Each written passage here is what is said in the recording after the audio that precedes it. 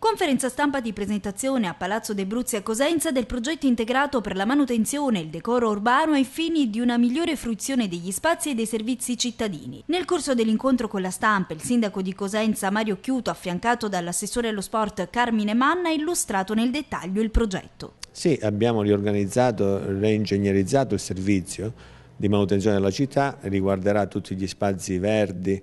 e, e, tutte le aree di pregio da un punto di vista eh, appunto delle ville comunali, insomma tut, tutti i luoghi che sono anche deputati diciamo, ad essere, a, diventare sempre più luoghi di, di frequentazione anche del, dei cittadini di Cosenza. E, e, ci sono poi tutti gli altri appalti che sono mm, riferiti ai servizi che dovranno essere svolti all'interno degli edifici comunali, al servizio anche che riguarda eh, tutta l'attività eh, a supporto diciamo, del, della cultura e dei teatri,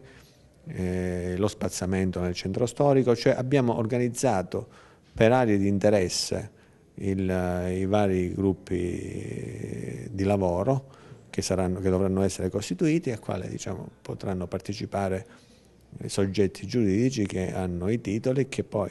eh, devono assolutamente fare riferimento a, ai lavoratori che hanno svolto negli anni passati